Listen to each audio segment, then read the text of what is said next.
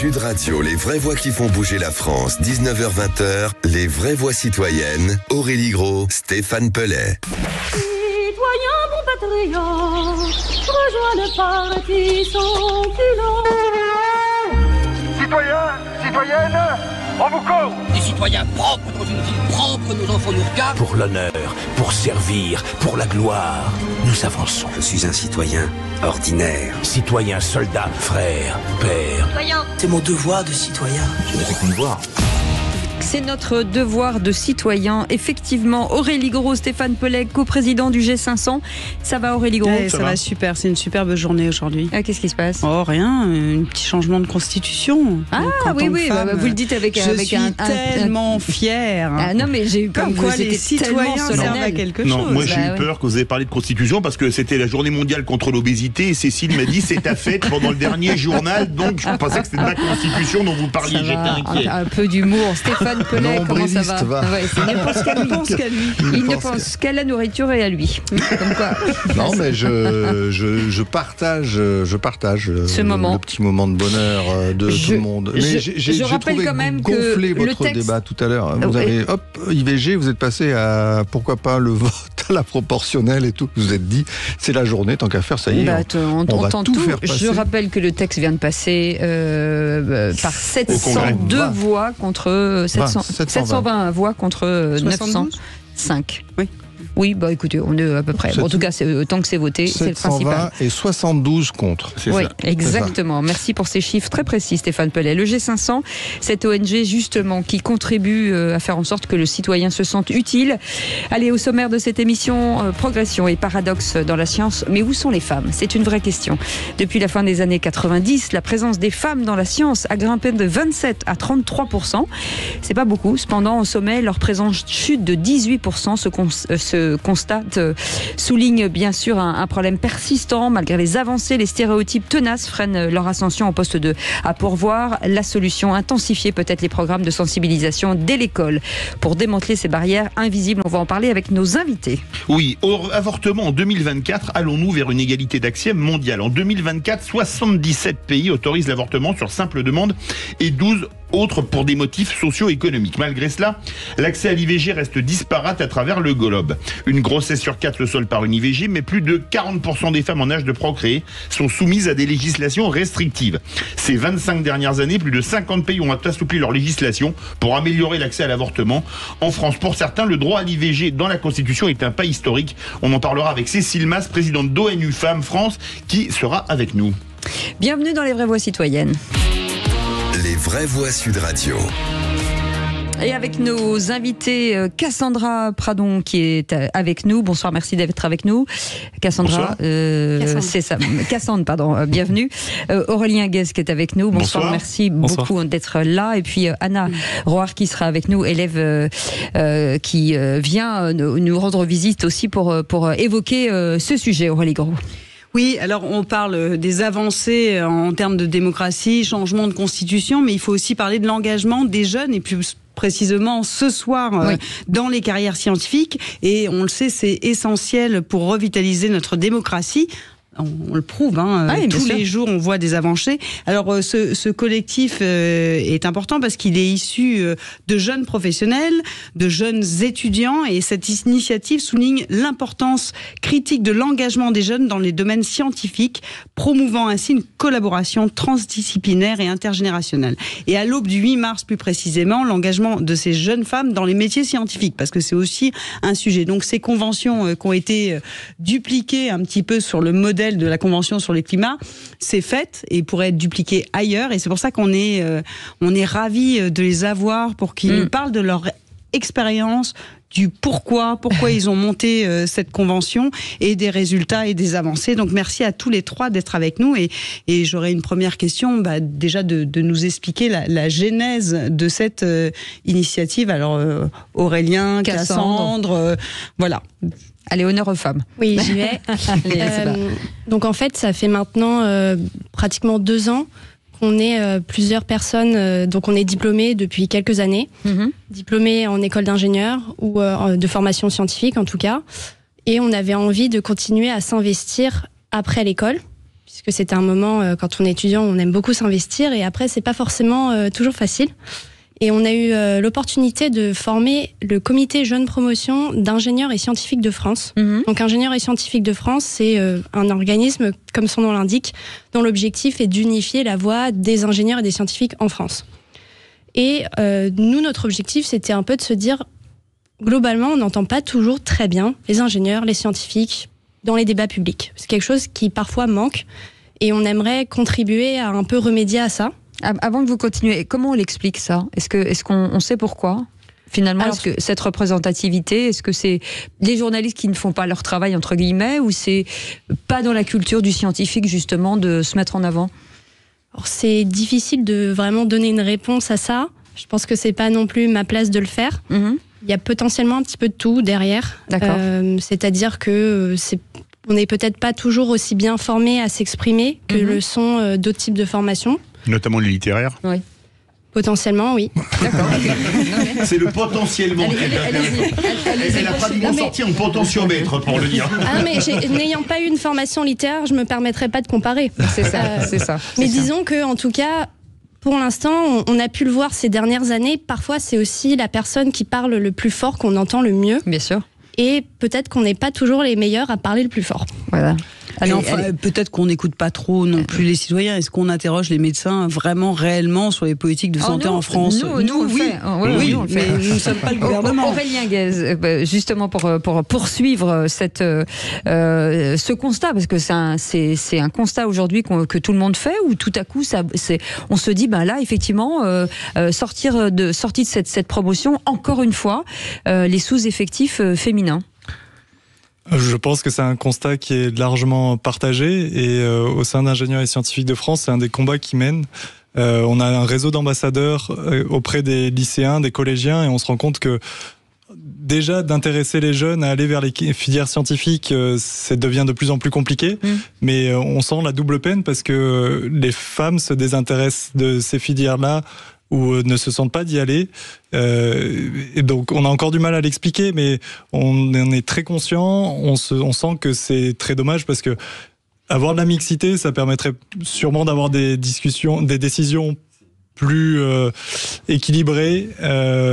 et, et donc on ne peut appeler que de nos voeux à, à ce que ce soit le cas. Alors, j'avais lu une chose, était-ce de l'info, était-ce de l'intox, que s'il y avait moins de filles en école d'ingénieurs, c'est parce qu'elles étaient plus littéraires que les hommes, et que s'il y avait plus d'hommes, c'est qu'ils étaient, c'était de l'intox, c'était une bêtise, mais j'ai vu ça il y a, il y a une trentaine d'années. On a, on a un exemple Mmh, en ouais. face. hein. Oui, parce qu'elle a témoigné. Je ne représente pas l'ensemble des ingénieurs et scientifiques de France, mais oui, je pense que c'est une intox. Euh, On ne naît pas littéraire parce que femme, on ne naît pas scientifique parce que homme. Mhm. Euh, je pense qu'on peut. euh, La preuve par Marie Curie. c'est en fait c'est un bon et mauvais exemple. On en parlait juste avant. Euh, bah, J'ai un exemple dans mon école à Centrale Lyon où on a une association féministe qui promeut la place des femmes euh, dans la formation scientifique. C'est euh, l'occasion de raconter la fameuse anecdote, toujours la même. Donc euh, Pierre et Marie Curie sont dans une soirée où on remet un, pied, un, un cadeau, pardon, un trophée à Pierre Curie et les journalistes s'avancent et, et demandent à Marie Curie. Alors euh, qu'est-ce que ça fait d'être, euh, euh, comment dire, l'ép- L'épouse. L'épouse, enfin, qu'est-ce que ça fait, non, pardon, de vivre avec un génie Et euh, Marie Curie répond, ben, demandez à mon mari. Surtout qu'il n'a eu qu'un prix Nobel et sa femme en a eu deux, faut-il le rappeler. hein. C'est- Mais regardez ce plateau ce soir, c'est magnifique. Donc en effet, euh, trois jeunes euh, qui Mmh. sortent à peine euh, pour certains des écoles ou qui sont encore, deux femmes, un homme. Arts et métiers pour euh, euh, Aurélien. Aurélien, Gazard, pardon. donc. Oui. Euh, Centrale Supélec, c'est ça pour euh, Cassandre. Cassandre. et pour euh, Anna, euh, Centrale euh, Lyon. Lyon. Voilà, donc euh, vous voyez des, des, des esprits bien faits, mais peut-être en effet peut-être cet enjeu de savoir comment on peut parler de ces métiers parce que vraiment c'est un problème actuellement. La France accuse un énorme retard de ce C'est peut-être aussi un, un- un problème d'orientation, c'est-à-dire qu'à un moment donné, arrivé dans son dans son cu- cursus scolaire, on a toujours tendance, euh, en tout cas les ceux, qui nous orientaient à dire euh, bah euh, littéraire c'est bien pour les filles et puis les maths c'est bien pour les garçons, même si vous étiez bonne en, maths, c'était compliqué. Moi j'étais nulle, donc ça m'a bien ça m'a bien aidé, mais en tout cas il y a peut-être un problème aussi d'orientation ou d'incitation ou de métier ou de découverte des métiers. Peut-être que les métiers aussi, il faut mm, permettre de les découvrir et il y en a qui sont forcément accessibles, très accessibles, même si on n'est pas très bon en maths. En tout cas, on peut imaginer d'y y accéder. Ensuite, c'est une façon de, peut-être Cassandre, une façon de vendre aussi euh, cette filière euh, un peu plus jeune. Parce En que fait- ça vient de loin, en fait. Oui, en fait, justement, je pense que c'est ça euh, sur lequel Anna voulait rebondir juste avant. En fait, on a parlé de Marie Curie, vous avez sauté dessus. Est-ce que vous pouvez nous citer d'autres scientifiques ou ingénieurs euh, femmes Femmes. Euh, qui ont eu un prix Nobel Non, non. Euh, ah bah, J'en avais une sinon, Françoise Barré-Sinoussi, prix Nobel de médecine, Ouais. euh, avec... euh, Alors, euh, moins de 4% des prix Nobel scientifiques ont été décernés Ah, à des, des femmes. femmes. Donc, moins de c'est vrai. 4%, à mon avis, on va pas en trouver beaucoup. Mais est-ce que, mais en fait, on apprend quand même, euh, on entend parler de scientifiques hommes qui sont, qui n'ont pas de prix Nobel non plus. Oui. En fait, Oui. quand euh, vous voyez notre Ceux qui ont éducation, des prix Nobel sont plutôt rares en général. hein. oui, puis en vrai, entre savoir prix Nobel, médaille de Fields, etc. Bon, c'est quelque Fields, chose, on peut le dire, c'est plus ou moins pour les mathématiques. Oui, c'est Ouais. que pour les maths, euh, je Mm. crois. Mais ce que je veux dire, c'est qu'en fait, quand euh, on étudie les sciences, euh, à partir, allez, on va primaire, même collège, souvent on entend le nom de euh, la personne qui a fait la recherche ou euh, le nom du mathématicien qui a donné euh, Mhm. le théorème. C'est vrai. Mais en général, c'est un homme. Mhm. Il y a plein de femmes euh, qui, qui ont été scientifiques et depuis l'Antiquité, on peut trouver des exemples, sauf qu'en général, elles sont pas citées. Euh, à Genève, par exemple, on peut voir, euh, il y a eu euh, un moment, ils s'étaient amusés à redonner des noms de rues en donnant des noms de femmes. Et c'était assez amusant de se rendre compte que personnellement, j'en connaissais aucune. Ouais. Allez, bougez pas, on fait une petite pause, on revient dans un instant. C'est un, un sujet très intéressant, euh, surtout parce que le, la science, ben, pour nous, c'est fascinant en fait. Il y a tellement de métiers, tellement d'expertise et tellement de choses à faire, c'est bien d'en parler. Et peut-être que ça va éveiller des consciences euh, derrière euh, le poste. Allez, on fait une petite pause, on revient dans un instant. 19h20, les vraies voix citoyennes. Aurélie Gros, Stéphane Pellet. Et ce sujet passionnant sur euh, la science, l'orientation, Cassandre Pradon est avec nous, Aurélien Guez, Anna Roar aussi, et puis vous pourrez réagir au 0826 300 300 avec une convention, euh, euh, Aurélie Gros. Oui, tout à fait. C'est l'association des ingénieurs et scientifiques de France et ils ont organisé une grande convention scientifique étudiante sur l'hydrogène. Alors, Ah. vous allez nous expliquer Ah. combien d'élèves, pourquoi est-ce que les pouvoirs publics s'intéressent à vos travaux, comment ça va se passer? Et pourquoi avoir organisé euh, cette, euh, cette convention? Parce que je pense que ça intéresse, c'est des nouvelles pratiques euh, qu'on voit émerger et notamment chez vous. Donc, c'est bien. Euh, alors, donc beaucoup de questions. Peut-être la première, rappeler euh, donc convention scientifique étudiante. On s'est basé sur le modèle des conventions citoyennes, comme Ouais. celle pour le climat ou de la fin de vie. Donc l'idée, c'est euh, donc parler d'un thème. Ici, on a pris l'hydrogène. On a sélectionné 50 élèves qui sont de formation scientifique ou ingénieur. Euh, D'abord, euh, minimum d'un niveau M1.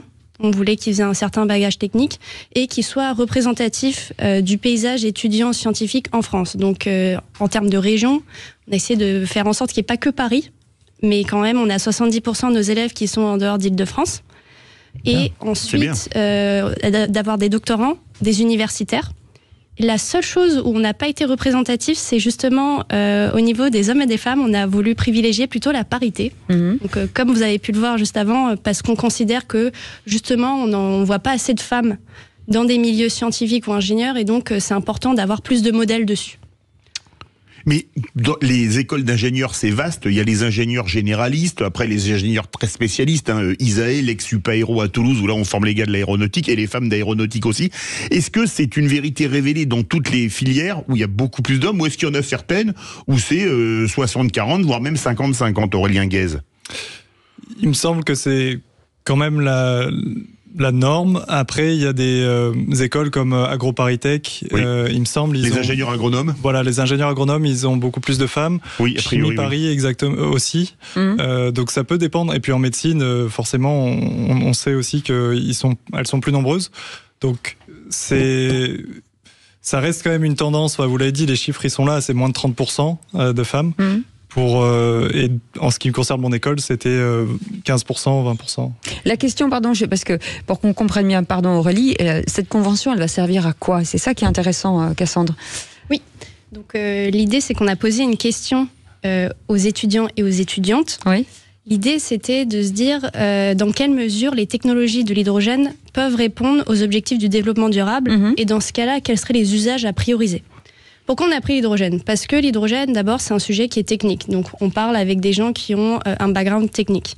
Le deuxième point, c'est que c'est un sujet qui fait pas mal débat parce que on entend beaucoup parler de l'hydrogène Mhm. pour plein d'usages, Mm. mais globalement, On sait on pas sait trop pas toujours de quoi parler et euh, ça reste encore assez niche. Donc Et les différents monde, euh, types d'hydrogène, Voilà, exactement. L'hydrogène blanc, l'hydrogène vert, etc. Exactement. Et puis les usages aussi, on en entend parler de certains, mais pas de tous. Et globalement, enfin, c'est voilà, c'est ce truc-là où on se dit, bah, chacun a une opinion, mais d'un autre côté, on n'a pas le temps. Qu'on soit honnête en tant que citoyen, on n'a pas le temps de s'en renseigner sur tout. Et donc, c'est important aussi que, en fait, un comité de, de, scientifiques et d'ingénieurs puisse dire, bon, bah voilà, globalement, c'est ça la position qui existe en France. Et donc, l'idée, c'était de faire comme les conventions citoyennes, des formations, des interventions avec des experts sur euh, les sujets qui sont liés à l'hydrogène, un peu sur toute la chaîne de valeur, des Mhm. enjeux techniques, mais aussi parfois plus humains.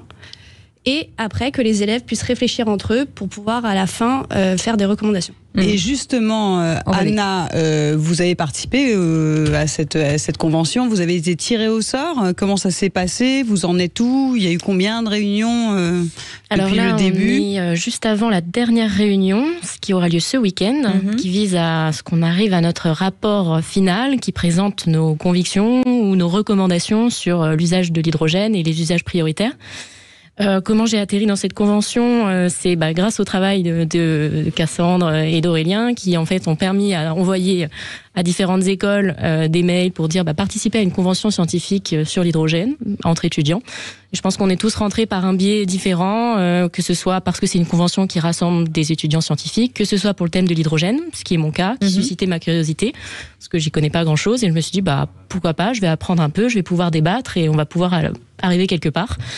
Et, euh, et donc voilà, donc on a hâte de pouvoir terminer. euh, Et vous pensez euh, que les politiques euh, vont être prêts à écouter les recommandations de jeunes scientifiques euh, étudiants? Alors, je ne sais pas, euh, étudi- l'étudiante euh, en pense quoi euh, Un des fondateurs en pense quoi Mais déjà, c'est destiné à qui? J'imagine Voilà. qu'il y avait, une, il y avait une, des st- destinataires. Est-ce que ce sont les régions? Parce que par exemple, la région Normandie est très en avance hein, sur l'hydrogène et c'est destiné à qui finalement? Alors on s'est lancé en allant voir euh, le ministre euh, de l'Industrie et maintenant de l'Énergie, Roland Ouais, Lescure. ouais. Euh, on lui a demandé s'il accepterait de porter sous son patronage cette initiative. Il l'a fait.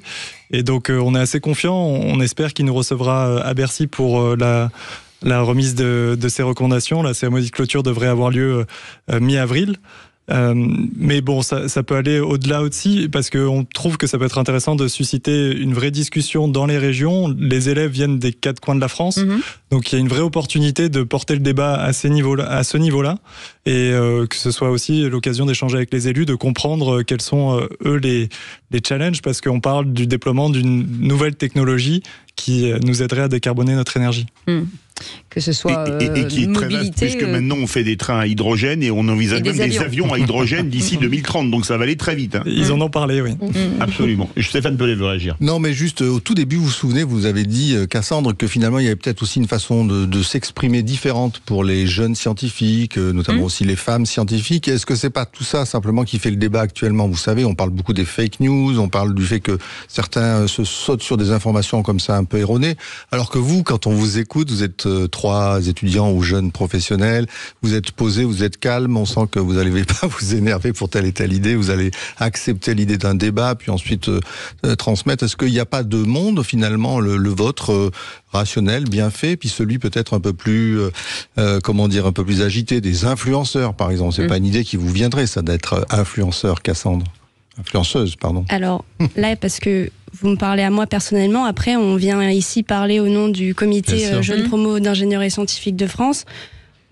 On fait notre petite influence, on a notre compte Instagram, notre Ah. compte LinkedIn. On n'est pas là pour euh, créer la polémique. Par Mhm. contre, si c'est ça votre question, Oui, c'est vrai. mais on est là pour être visible. Mhm. Et c'est juste qu'on considère qu'on peut être visible en apportant des faits, euh, des débats, sans forcément euh, créer des choses qui soient choquantes, par exemple. Mais est-ce qu'il ne faut pas aller plus loin euh, Parce que vous êtes la parfaite représentation euh, de la scientifique de demain, ce qui est, ce qui est assez euh, génial, euh, d'aller euh, voir des petites filles dans des écoles ou d'aller justement raconter, parce que la science en général, ça fait peur, on ne sait pas, on ne sait pas, mais justement de démocratiser en disant ce que je disais il y a, il y a 10 minutes, la science, elle, est, elle a plusieurs niveaux en fait de, de, de difficultés, c'est-à-dire qu'il y a plein de, de, clés d'entrée où les femmes pourraient se, retrouver. Et, je pense que les femmes elles-mêmes, plutôt que les hommes qui les mettent à l'extérieur, elles-mêmes se mettent à défaut en disant je suis pas capable de faire ça parce que c'est très féminin aussi de, dire ça. Les garçons, ils, déposent leur CV même si c'est pas le bon euh, euh, le bon métier, ils se disent on sait jamais si ça marche. Ça fonctionne. Les femmes sont plutôt réticentes par rapport à ça.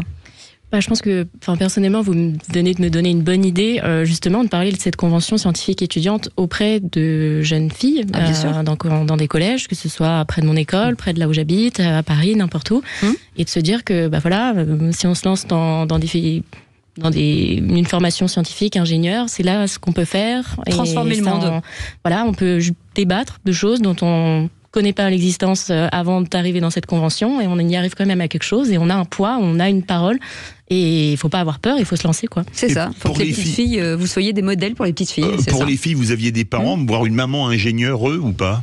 Alors moi, pas du tout. Euh, vraiment quasiment aucun scientifique dans ma famille. Et c'est vrai que la première fois que je leur en ai parlé, ils ont été un peu surpris, mais ensuite très enthousiastes, au contraire. Même euh, mon père. Ah. Donc, euh, Et pour vous, Anna Et euh, moi, ça va être le contre-exemple. Euh, J'ai deux parents euh, scientifiques euh, et ingénieurs. D'accord. voilà, Et pour vous, Aurélien Non, non, Non, ça a commencé par Auré, là, je, je me suis sentie concernée. Bah, Il y a Aurélie et Aurélien l'un à côté de l'autre. oui. Euh, non, ce n'est pas le cas. Mes parents, enfin, pas en tout cas ingénieur. euh, mon père est médecin, mais D'accord. C'est Oh, bah, scientifique ah, quand c'est un même. peu scientifique. c'est scientifique, oui, Ouais. Il vaut mieux d'ailleurs. Mmh. Alors comment vous Aurélie, avez, juste comment Allez. vous avez géré vos financements? Parce que j'imagine que c'est pas forcément évident et est-ce que après euh, quand vous allez avoir euh, rendu vos conclusions, vos résolutions parce que nous on appelle ça des résolutions euh, euh, bah euh, voilà euh, comment on va suivre tout ça? Vous avez peut-être un site internet euh, où justement toutes les jeunes femmes pourront se renseigner euh, Mm. sur toutes les belles initiatives que vous portez. Oui, tout à fait. Alors, on s'est appuyé sur, euh, euh, toute cette diversité d'écoles qui existent en France. Euh, ce qui est intéressant, c'est que, ayant des, écoles qui sont implantées de partout sur le territoire, on a une grande diversité qui nous ont soutenus. Euh, on peut commencer par euh, Centrale Lyon. Euh, pour euh, typiquement l'école de Anna, et elle n'y est pas pour rien. Euh, la suite, on a eu les et métiers, on a eu Centrale Supélec, les mines de Paris, Agro Paritech, Polytechnique, je suis obligé de les, Les les citer, citer parce qu'on les remercie chaleureusement. Côté État, on a eu aussi le soutien de l'ADEME. Oui. Euh, et euh, côté entreprise, euh, des entreprises investies dans l'hydrogène ont aussi voulu pousser cette initiative. De, on avait Helogène, Regroupe, GRT Gaz. Donc ça a permis d'avoir quand même euh, un, un beau panel de financeurs, mais c'était pas sans y passer euh, des heures euh, au carré, comme on aime le dire chez Mm. nous. Voilà. Bon, en tout cas, Et on peut comme vous ça que ça suivre sur quel site? Et pour nous suivre, alors on a réussi à aller assez loin dans le financement, mais on a quand même eu besoin de faire appel à une, à une info- pardon, à, à Ulule, à Mhm. une plateforme de, euh, de pour nous soutenir euh, individuellement. Financièrement, oui, c'est ça. Et, et puis, euh, vous pouvez nous suivre sur LinkedIn, vous pouvez nous suivre, on a un site internet. Et l'idée, c'est que bah, dès que ces recommandations sortiront, qu'on puisse pousser la voix des, des jeunes étudiants euh, Mm. le plus loin possible. et faire une grande famille. Merci beaucoup en tout cas à. Cassandre Pradon d'avoir été avec nous. Merci beaucoup Merci. Aurélien Guez et merci beaucoup Anna Roar d'avoir été avec Merci nous. C'était très agréable de vous parler et puis euh, j'imagine que vous allez faire euh, des petits, des petits, des petits et plein de petites euh, filles seront des grandes scientifiques, françaises. Dans Et un instant, inspireront les autres écoles de faire Oui. la même chose, Exactement, d'autres vous avez conventions. raison. Et on va vous parler de cette journée dite historique pour certains, cette loi IVG, IVG rentrée dans la Constitution. On en parle dans un instant, à tout de suite. Pellet. Aurélie Gros, Stéphane Pellet, l'ONG, euh, le G500, en tout cas, euh, ONG citoyenne. On est ravis de les avoir. Comme tous les lundis, on parle de pas mal de sujets avec, euh, avec eux. Et aujourd'hui, forcément, c'était important, cette grande journée historique, Stéphane Pellet. Et oui, c'est bien parce que d'habitude on dit il faut parler de la journée internationale des droits des femmes, c'est Ah bah. le 8 mars et puis c'est tout, c'est une journée puis après c'est fini. Là, on, déjà on, Et est, pour- est parti pour une semaine parce qu'on part d'aujourd'hui jusqu'à jeudi euh, 8 mars ou ce vendredi 8 mars Vendredi, pardon. ouais. Et donc euh, on reçoit euh, donc euh, la présidente de l'association ONU Femmes France, c'est ça, j'espère que je ne me trompe pas dans l'intitulé, Euh, bonsoir Céline Masse. Cécile. Céline. Céline Masse. Pardon. Céline. Bonsoir, euh, Oui. bonsoir à toutes et tous. Ravi d'être avec vous. Et c'est Céline, en effet. Oui. On, D'accord. on a Cécile et Céline ce soir, c'est Ah, parfait. c'est Et. Aurélie, Aurélien, c'est parfait aussi. Et on doit l'appeler Cécile tout le temps parce que moi on m'appelle Céline tout le temps, donc euh, j'ai l'habitude. Euh, donc, euh, on aurait peut-être dû avoir un air un peu moins réjoui, parce Mm. qu'on aurait dû parler de cette situation des femmes dans le monde, et vous auriez dû nous dépeindre, ce qui est toujours le cas, un tableau Mm. difficile. Et pourtant, ce soir, bien sûr, euh, on doit se réjouir, et vous allez nous en parler de ce qui s'est passé donc dans euh, ce beau château de Versailles, où donc euh, les Français ont été les premiers euh, parlementaires, je crois, au monde à inscrire euh, l'IVG dans, dans, dans leur constitution, euh, même si C'est les deuxièmes. La, Deuxième. la Ah. Yougoslavie, Yougoslavie. Tito l'avait mise dans la Constitution en 1974, il y a 50 ans. sauf Feu, que- feu la Yougoslavie. voilà. Feu la Yougoslavie, oui, et Donc, feu Tito aussi d'ailleurs. hein. Peut-être qu'il reste Ah oui. pour l'instant, les Français restent donc France. les seuls. Alors aujourd'hui, ça. euh, aujourd'hui, voilà, je connais bien une petite pensée pour la Yougoslavie disparue. Euh, donc euh, vous, vous, vous, bien sûr, vous allez nous dire en quoi c'est une avancée, mais vous allez aussi, je pense, nous parler de la situation plus globalement dans le monde, et puis aussi de, ce que fait votre association, votre plus qu'une association, puisque globalement c'est une institution. Euh, on a vu qu'il y a des pays où il faut encore euh, demander une autorisation, et des pays encore comme des voisins, l'Italie par exemple, où même si les textes de loi le permettent, eh bien en fait euh, l'IVG n'arrive pas à être pratiqué tout simplement parce qu'il n'y a pas euh, de scientifiques, enfin il n'y a pas, excusez-moi, je suis un peu anxieux par le débat juste avant, mais en tous les cas pas les médecins qu'il faut, euh, voilà. Donc euh, cette situation, vous pouvez nous la décrire en quelques mots, puis surtout d'abord nous présenter. Ce soir, c'est important encore euh, compte tenu de votre action. Qu'est-ce que ONU Femmes France? Oui, merci beaucoup. D'abord, un mot sur cette journée historique. Vous l'avez dit, moi, je suis très émue au moment où je vous parle parce qu'il faut, il faut se représenter qu'une victoire de cette, de ce calibre, ce sont des années de travail pour des millions de femmes, de militantes, des gens qui sont aussi bénévoles, qui donnent de leur temps, qui donnent de leur énergie, qui voient les régressions très nombreuses dans le monde des droits des femmes et qui ne voient pas le bout du tunnel, si j'ose dire, qui ne voient jamais de lumière.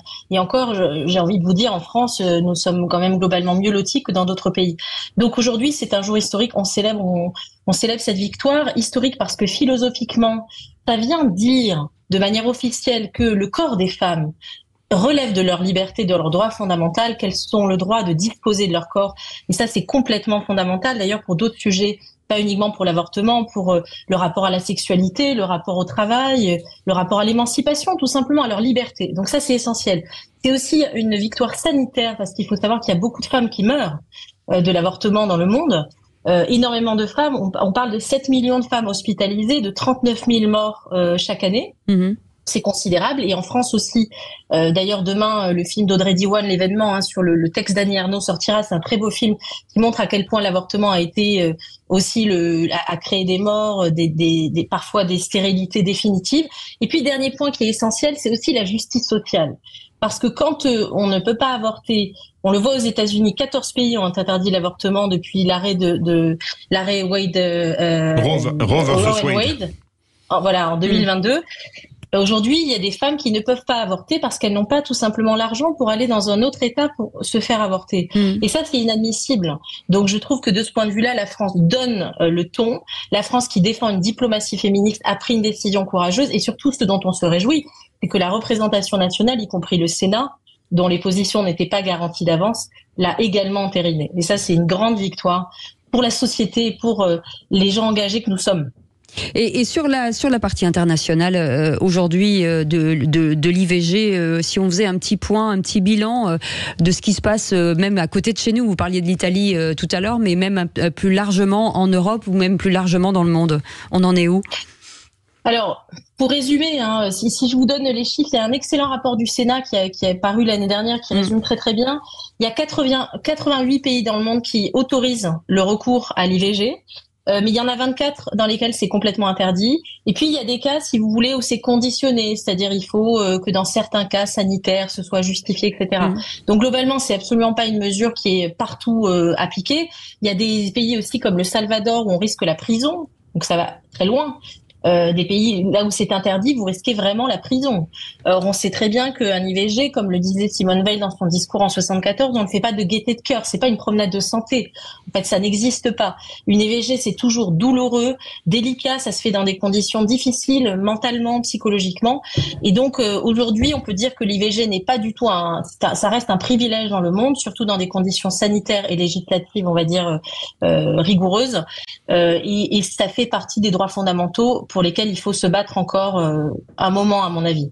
Est-ce qu'il y a quand même une, une, pédagogie à mettre en place que le, le nombre d'IVG en France augmente forcément? Est-ce que euh, pour éviter ça, parce que vous avez raison de dire que c'est toujours un drame pour une pour une femme, c'est sûr, mais comment on peut anticiper, faire en sorte que ça, ça n'arrive, enfin en tout cas de, de, de moins en moins, et que ça doit arriver uniquement quand c'est vraiment accidentel? C'est comme vous l'avez dit, je pense que l'éducation et la pédagogie sont essentielles.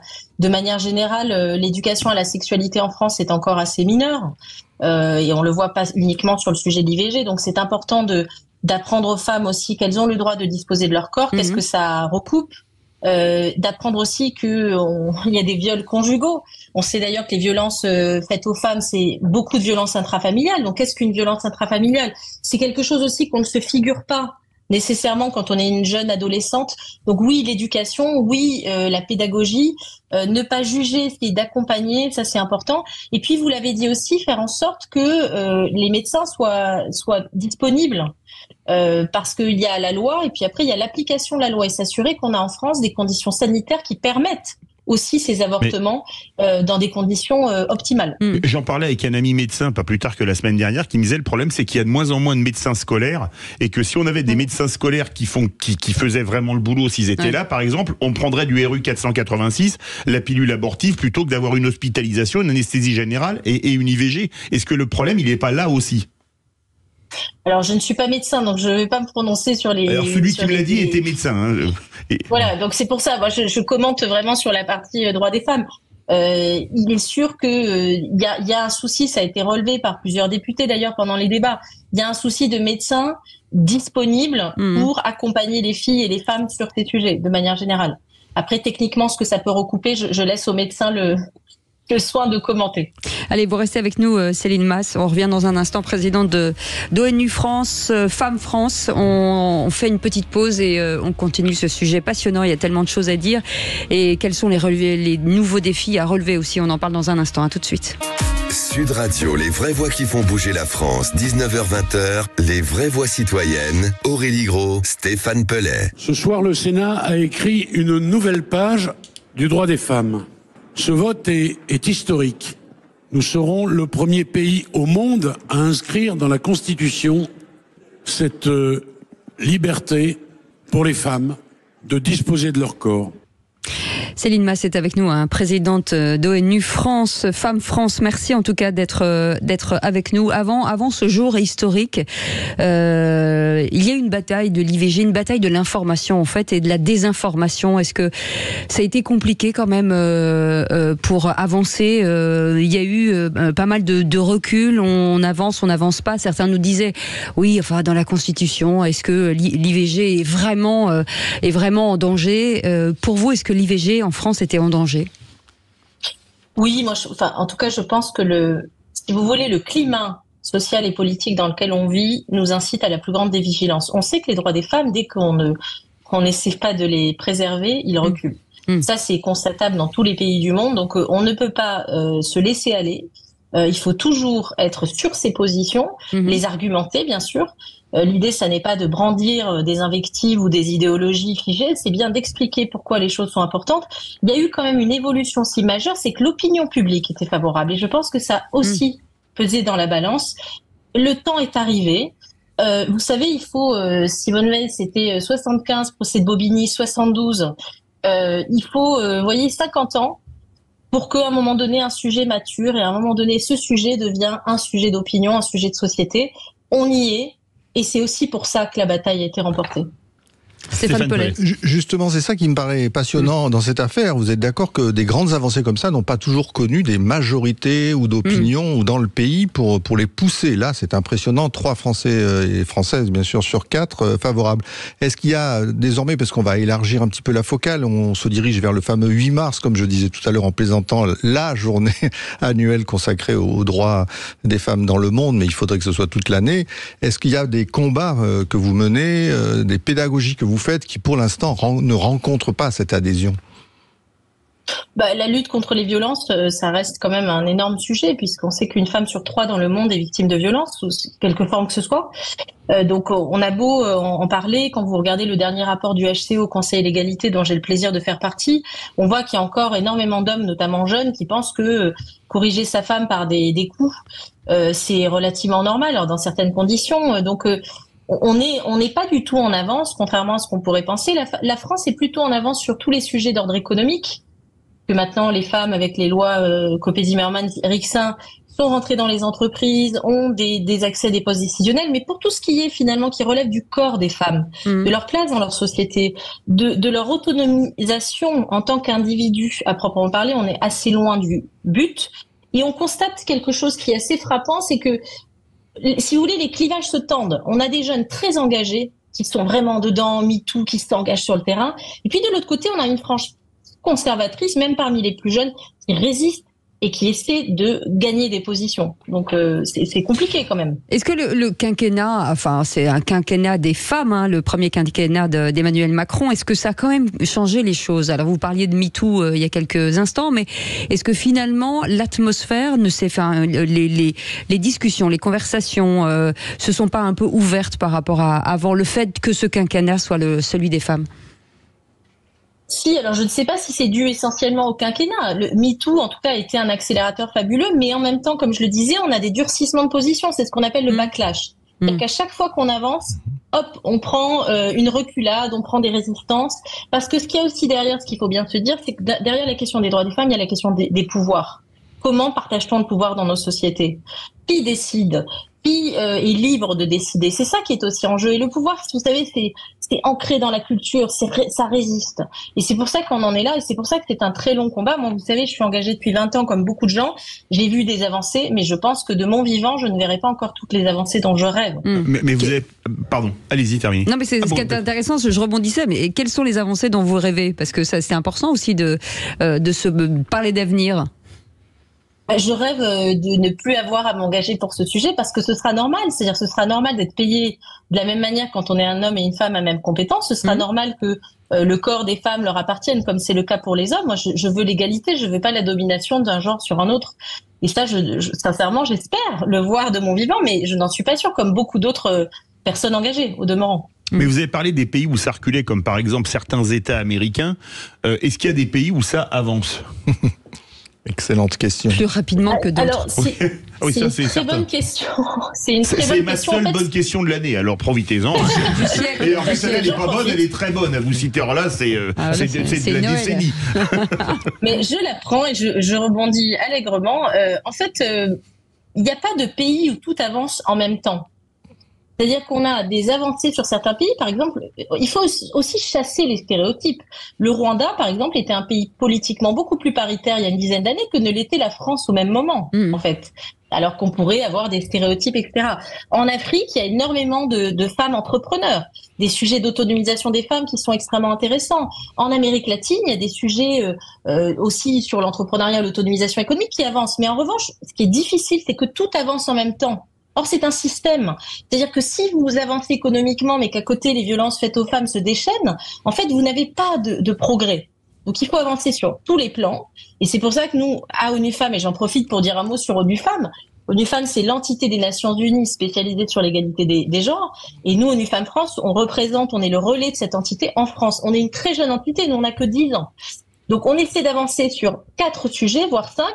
L'égalité euh, politique, le Bien leadership politique, l'autonomisation économique, la lutte contre les violences, euh, la transition numérique écologique et enfin les femmes dans la paix et la sécurité, c'est-à-dire dans les conflits, qui est aussi un sujet qui a explosé malheureusement ces dernières années. Et en fait, si vous n'avancez pas sur tout en même temps, bah en fait, fatalement, vous reculez. Parce que tout est lié, en réalité. Stéphane Pellet. Alors justement, Céline Masse, qu'est-ce qu'on pourrait faire de mieux dans, euh, souvent c'est Cécile qui le dit, euh, dans les écoles, euh, au moment de la transmission, dans l'éducation? Mmh. Parce que finalement, il y a toutes sortes d'intervenants, et puis je suis bien passé pour le savoir, il y a des cours qui sont faits, il y a des heures Mmh. qui sont préparées, puis finalement on se rend compte que, que ça passe pas aussi bien que ça, qu'on a du mal à faire bah, justement une présentation comme la vôtre qui montrerait que tout avance en même temps, ou devrait avancer en même temps. Pense qu'il faut être plus systémique, c'est-à-dire il faut intégrer plus profondément dans les programmes. L'égalité, c'est pas un truc qui se balade et qu'on vient raconter une fois par an. Vous voyez, c'est quelque chose de fondamental. C'est à la base de notre société, de notre sociabilité, de notre civilisation, j'ai envie de dire. Euh, les femmes, c'est la moitié de l'humanité, ni plus ni moins. Donc, euh, si on veut euh, prétendre, et moi, c'est ça qui voulait qui me frappe et voir aujourd'hui qui m'indigne, c'est qu'on parle d'IA, on parle de progrès, on parle de choses incroyables. Très bien. Mais moi, ce qui m'intéresse, c'est d'être dans une société où les progrès sont aussi sur la base. C'est-à-dire que les gens qui vivent dans une société ont tous les mêmes droits, hommes ou femmes ou autres. Donc, mettons-le au cœur des programmes. Euh, pas de tabou aussi, parce qu'on sait que l'égalité, ça peut créer des tabous Mhm. dans certaines écoles, etc. Et ça, il faut assumer de pouvoir accompagner aussi les professeurs pour en parler de la bonne manière. L'idée, ça n'est pas de heurter, c'est d'être pédagogue et c'est de montrer que tout le monde y gagne. Et ça, c'est fondamental. Mais Céline Masse, est-ce qu'il n'y a pas, euh, vous n'avez pas l'impression quand même qu'il y a de plus en plus d'entrepreneuriat fra- féminin en fait euh, en France, euh, de femmes qui se lancent euh, dans des entreprises, qui rachètent, nous on en a beaucoup au téléphone, qui rachètent euh, les entreprises de leur de leurs patrons, qui se franchisent, qui euh, qui, qui créent même avec euh, des hommes des binômes. Enfin voilà, on a, on a l'impression que de plus en plus il y a euh, les femmes se, se libèrent ou de, de bah, du, du salariat et se, se lancent dans l'aventure. Bon alors, euh, Cécile, parlons vrai, hein, puisqu'on est là. Ouais, ouais. Ça, c'est l'écume des choses, c'est-à-dire qu'il faut regarder le dur, le financement. Les entreprises euh, fondées par des femmes ne sont pas aussi financées très très loin. Euh, regardons euh, toutes les, les aides aux licornes, etc. On ne retrouve pas les femmes. Et souvent d'ailleurs, les femmes, ça a été montré dans pas mal d'études, créent des entreprises plus petites, qui sont quand même plus durables, pour le coup. Et quand elles créent des entreprises avec des hommes, elles génèrent plus de valeur. Mais en fait, quand vous allez dans les mondes des VC, peux vous assurer que l'égalité, on en est encore très très loin. Bah ça, c'est intéressant ça à porter avec euh, Stéphane Pellet et Aurélie Gros, justement, l'aide, une aide supplémentaire pour, euh, pour euh, les femmes euh, entrepreneurs, parce que ça aussi, c'est une émancipation. Et voilà, une résolution de plus à, à apporter. Et ben voilà, ça, ça m'intéresse, parce que ça, c'est un vrai sujet que je, Moi, j'ai une autre proposition euh, à vous faire, euh, Céline. Euh, on supprime la journée du 8 mars et on la remplace par la semaine, puisque maintenant on va aller du 4 au 8. Voire Euh, l'année. ouais. L'année, moi je dis l'année. Oui, mais l'année, ça disparaîtrait. Mais dans les écoles, euh, on a quand même une semaine du goût. Euh, et on a une journée internationale des droits des femmes. C'est un peu étonnant, non? Oui, je, pour compléter les propos, moi je rajouterais aussi qu'il y a la responsabilité des familles et peut-être faire passer un message. Il y a aussi l'éducation qu'on peut donner à ces enfants, Ah, notamment les oui. garçons. Et là, pour le coup, c'est souvent les mamans qui sont responsables. Et je pense que là-dessus, il y a, il y a quand même quelque chose à faire pour donner peut-être euh, une confiance euh, de plus. Sinon, c'est le serpent qui se mord la queue. C'est-à-dire que nous, nous luttons en tant que femmes adultes Mm. pour des droits, pour l'égalité, euh, pour les droits de la femme. Mais à côté de ça, on éduque des petits garçons comme des petits princes. Et je pense que on se fait mal à, à- à nos propres engagements. Je sais Voilà. pas ce que vous en pensez, Céline, mais C'est, voilà. c'est, on, on en, on en reparlera Mais parce on va être obligé de la réinviter. En tout cas, en tout cas, on, est, on espère que cette euh, journée euh, historique sera déployée euh, demain dans les écoles, parce que c'est important aussi d'en parler euh, aux jeunes enfants et un petit, un petit peu partout. Oui, Oui, juste votre site internet parce Ouais. que je crois que les financements, vous en avez besoin. Ah, des sous, Bien des sûr. sous. Il y en a jamais assez. Allez-y, Absolument. le site internet. Eh ben, c'est dou- www.onufemme, femme au pluriel.fr. Merci beaucoup par avance. On accueille tout le monde et tous les dons, même les plus petits. Merci beaucoup Céline Merci vous. d'avoir été avec nous. Je remercie encore Merci Cassandre euh, Pradon d'avoir été avec nous. Merci Aurélien Guez. Merci Anna Roard. Vous reviendrez pour votre convention puisqu'on a envie de voir l'issue. Merci beaucoup euh, Stéphane Pellet. Merci beaucoup Aurélie Gros pour Merci ces sujets euh, passionnants et hyper intéressants. Et, euh, et Philippe David, on se retrouve demain On se retrouve demain à On est obligé 17h. On est obligé. On oui. est obligé, d'accord, tant mieux. la parité. On est la parité, oui. Tout de suite, Sud Radio à votre service à 20h le flash et évidemment comme tous les lundis à 20h02 Sud Radio Rugby au cœur de la mêlée et Dieu sait s'il y a des choses à dire après la journée top 14 qu'on vient de vivre et avant le tournoi des Six Nations et un déplacement à Cardiff terrible dimanche prochain. Et merci à notre équipe euh, en majorité de femmes. Je tiens à, le signaler. Absolument. On embrasse Benoît et Félix quand même euh, pour cette, euh, ce travail formidable. On se retrouve demain à 17h. Allez, salut, bonne soirée.